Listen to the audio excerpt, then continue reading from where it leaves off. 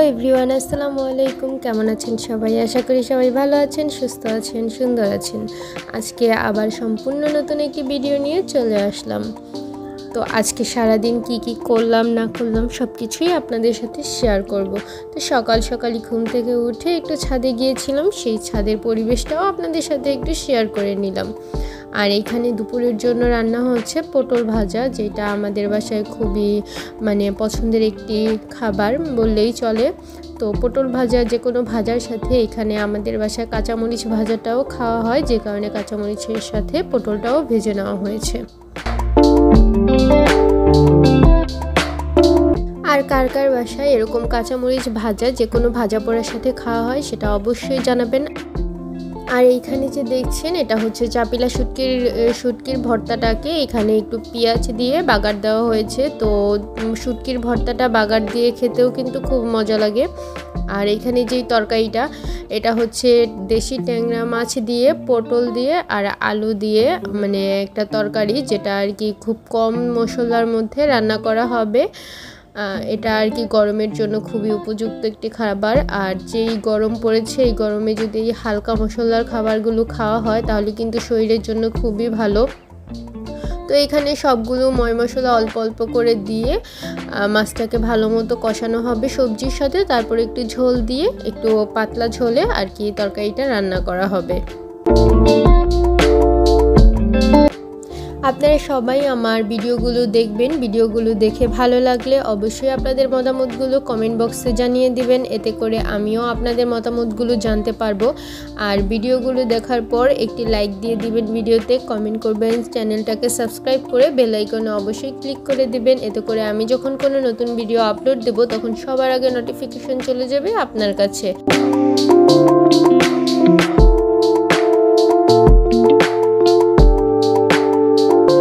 আর এই তো আমাদের সবচেয়ে বেশি পছন্দের একটি মাছ হলো চিংড়ি মাছ। আমাদের বাসায় সচরাচর বেশিরভাগই খাওয়া হয়ে থাকে। তো এই তো এখানে তাজা তাজা চিংড়ি মাছগুলো আনা হয়েছে। আর এটা খুবই পছন্দ। আর মনে হয় না আমার শুধু। আর কি সবারই চিংড়ি মাছটা খুব বেশি পছন্দের একটি খাবার। হয়তো হাতে গোনা কয়েকজন চিংড়ি মাছ খেয়ে থাকে না, কিন্তু আমাদের বেশিরভাগ মানুষই কিন্তু চিংড়ি মাছটা খুব বেশি পছন্দ করে। আর চিংড়ি মাছগুলো খুবই তাজা ছিল, খুবই ফ্রেশ ছিল চিংড়ি মাছগুলো। তো ভাবলাম যে আপনাদের সাথে একটু ভিডিও করে নিই, আর চিংড়ি মাছের রেসিপিটাও আমি আপনাদের সাথে শেয়ার করব, কীভাবে আমাদের বাসায় চিংড়ি মাছটা আর কি একটু রান্না করা হয়। তো যেহেতু গরমকাল চলছে, তো ভাবলাম যে ভুনা না করে একটু হালকা আলু দিয়ে, টমেটো দিয়ে একটু পাতলা ঝোলের মতো করতে। তো সচরাচর চিংড়ি মাছটা কিন্তু ভুনাই করা হয়, ভুনাই বেশিরভাগ খাওয়া হয় অথবা ফ্রাই খাওয়া হয়। তো আজকে যেহেতু ভাবলাম যে একটু পাতলা ছোলে রান্না করা হবে এই জন্য ভাবলাম যে আপনাদের সাথেও একটু শেয়ার করি। তো এখানে কাটাকুটি শেষ চিংড়ি মাছটা, তারপর ধুয়ে নিয়ে রান্নার জন্য প্রসেস করা হবে। একে একে সব কিছু আপনাদের সাথে আমি শেয়ার করব।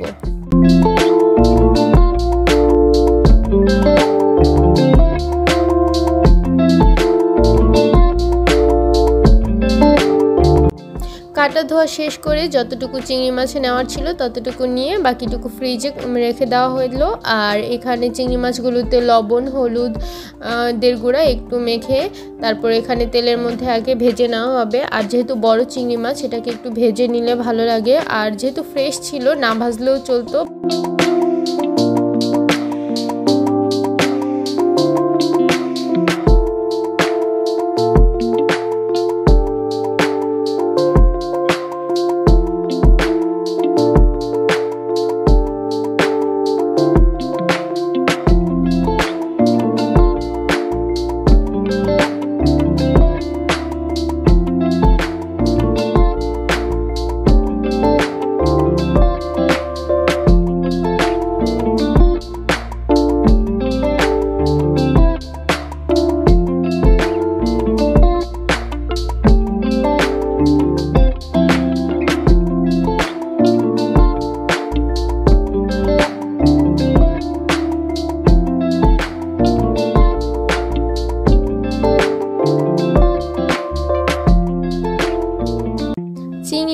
ভাজা শেষ হলে সেই তেলের মধ্যে আলুগুলোকেও একটু হালকা করে ভেজে নেওয়া হবে। কারণ চিংড়ি মাছের সাথে একটা ছোট সাইজের আলু দেওয়া হবে। আর ছোট সাইজের আলুটা দিলে কিন্তু খুবই ভালো লাগবে। যেহেতু আমি আগেই বলেছি যে গরমের মধ্যে একটু পাতলা ঝোল খাবারটাই আমরা বেশি পরিমাণে আর কি চাচ্ছিলাম।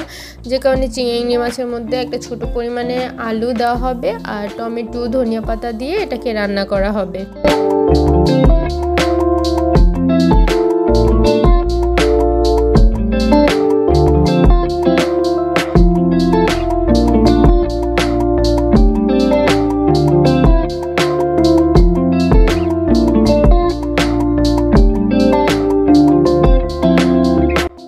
সবগুলো ভাজা শেষ করে তারপরে এখানে পেঁয়াজটাকে হালকা ভেজে তেলের মধ্যে এখানে হলুদ, মরিচ, লবণ, ধনিয়া গুঁড়া, তারপর আদা, রসুন, জিরা গুঁড়া সব মানে সবগুলো স্পাইসি মশলা একসাথে দিয়ে তারপর তেলের মধ্যে ভালো মতো কষিয়ে নেওয়া হবে। তেল ছাড়ার আগ পর্যন্ত তেল যখন ছেড়ে মশলাটা ভালো মতো কষিয়ে যাবে তখন আর কি অল্প একটু পানি দিয়ে আলু, তারপর টমেটো, কাঁচামরিচ আর চিংড়ি মাছগুলো সবগুলো একত্রে দিয়ে ভালো মতো একটু কষিয়ে নিয়ে তারপর ঝোলের পানিটা দিয়ে দেওয়া হবে।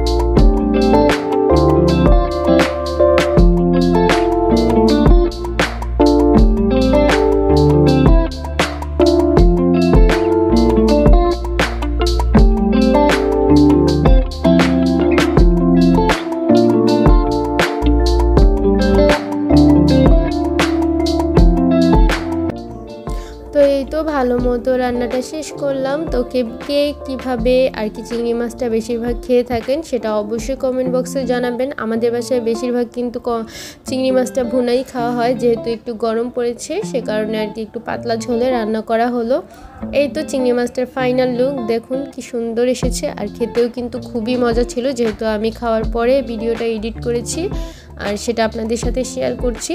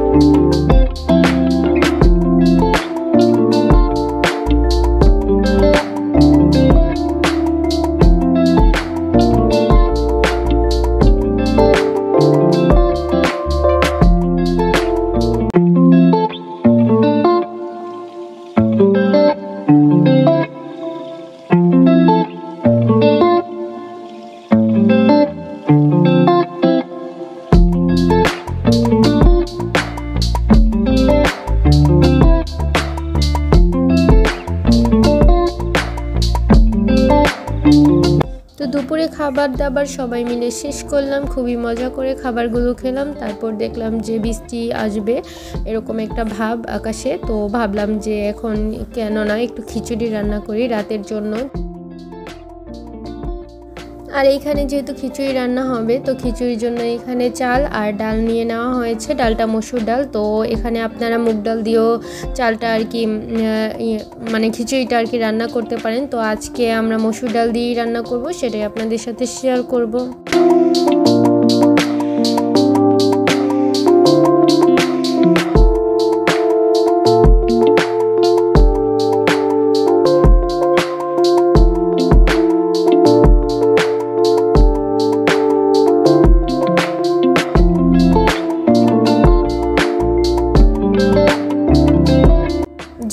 সন্ধ্যার পরে রান্নাটা করব। তো ভাবলাম যে একটু আম খেয়ে নেই। তারপর রান্নাটা করার জন্য আমি চলে যাব কিচেনে তার তো এখানে দেখেন যে কীভাবে কি কি আমি রান্না করি সব কিছুই আপনাদের সাথে শেয়ার করব। তো এখানে ফার্স্টেই ভাবলাম যে চিকেনটা আগে বসিয়ে দিই, কারণ চিকেনটা হতে একটু দেরি হবে। আর ওই পাশে চুলায় আর কি খিচুড়িটা রান্নার জন্য বসিয়ে দেব। তো চিকেনের সাথে আমি মাঝে মাঝে আর কি টমেটোটা দিয়ে থাকি। টমেটোটা দিলে চিকেনটা খেতে ভালো লাগে। তো এখানে সব রকম গরম মশলা দিয়ে চিংড়ি তারপর পেঁয়াজ আর এই টমেটোটা দিয়ে ভালো মতো একটু ভেজে নেব। ভেজে নেওয়ার পর যখন হালকা হালকা নরম হয়ে আসবে পেঁয়াজ কুচিটা, তারপর সেখানে আমি একে একে হলুদ, মরিচ, লবণ, আদা, রসুন, জিরা, তারপর ধনিয়া, যত রকম সব মশলা আছে সবগুলো একত্রে দিয়ে একটু ভালো মতো কষিয়ে নেব।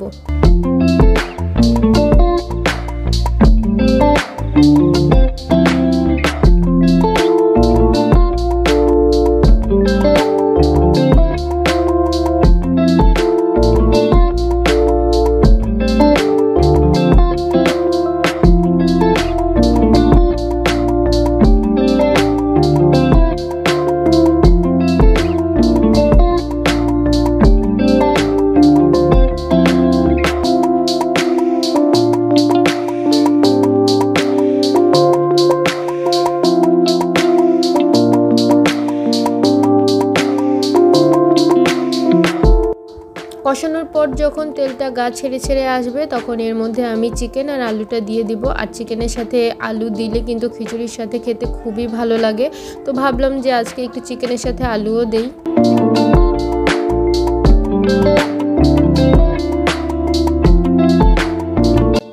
চিকেনের সাথে আলুটাকে দিয়ে ভালো মতো কষানোর জন্য রেখে দিলাম এক চুলায় আর অপর চুলায় আমি এখন খিচুড়িটাকে বসিয়ে দেব কারণ অনেকটা রাত হয়ে গিয়েছে আর খাবারও আমাদের ঘরে দশটার দিকেই আর কি খেয়ে ফেলা হয়। তো এর জন্য আর কি তাড়াহুড়া করছিলাম। এখানে পেঁয়াজ, কাঁচামরিচ আর গরম মশলা, তেজপাতা সব কিছু দিয়ে একটু তেলের মধ্যে ভেজে নেব।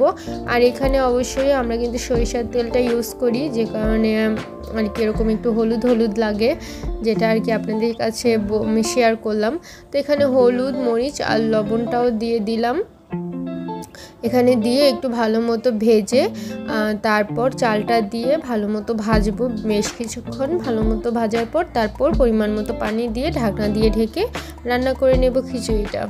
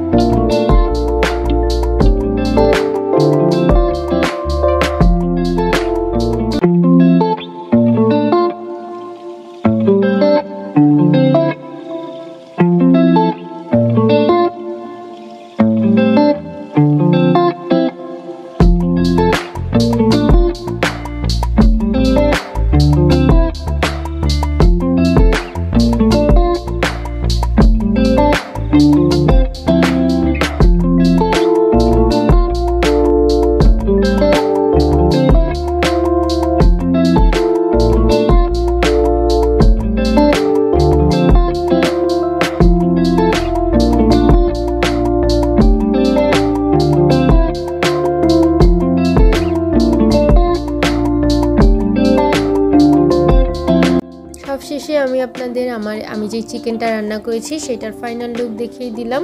তো চিকেনটা কিন্তু খুবই মজা হয়েছিল, আর একটু ঝাল দিয়েই চিকেনটাকে রান্না করেছিলাম। আর যেহেতু ব্রয়লারের মুরগি, তো এটাকে একটু ঝাল ঝাল করে রান্না করলে বেশি ভালো লাগে। আর খিচুড়িটা কিন্তু খুবই ঝরঝরা হয়েছিল। তো এটা এই তো তারপর আমি একটু সার্ভ করে নিলাম। তো এইখানে একে একে সবাই মিলে খেয়ে নিব। আর সাথে অবশ্যই আমের একটি আচার বানিয়েছিলাম, ঝুরা আমের আচার আর কি, যেটাকে আমরা বলি। তো এখানে শুকনা মরিচ, আমে, আম আর রসুন দিয়ে ভালো মতো আচারটাকে আর কি বানিয়েছিলাম আমি, যেটা আর কি ভেবেছিলাম যে শেয়ার করব, তো ওই ভিডিওটা আর কি শেয়ার করা হয়নি। তো এই তো দেখুন, আমার আজকে বৃষ্টির জন্য যেই রান্নাগুলো করেছি, সেটাই আপনাদের সাথে শেয়ার করলাম। তো এখন বৃষ্টি উপভোগ করব আর খেয়ে নিব। সবাই ভালো থাকবেন, সুস্থ থাকবেন, আমার ভিডিওগুলো দেখবেন। আর ভিডিও দেখে ভালো লেগে থাকলে লাইক করবেন কমেন্ট করবেন চ্যানেলটাকে সাবস্ক্রাইব করে বেলাইকনে ক্লিক করে দেবেন। আল্লাহ হাফেজ।